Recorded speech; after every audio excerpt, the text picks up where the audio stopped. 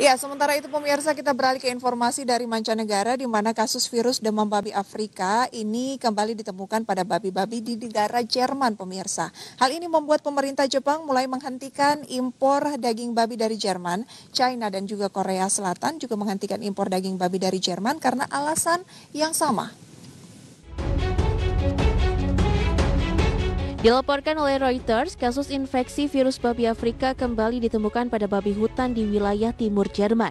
Melihat kejadian tersebut, Kementerian Pertanian Jepang memutuskan untuk menghentikan sementara impor daging babi dari Jerman. Jepang bukan negara pertama yang mengeluarkan kebijakan ini. China dan Korea Selatan juga menghentikan impor daging babi dari Jerman karena alasan yang sama.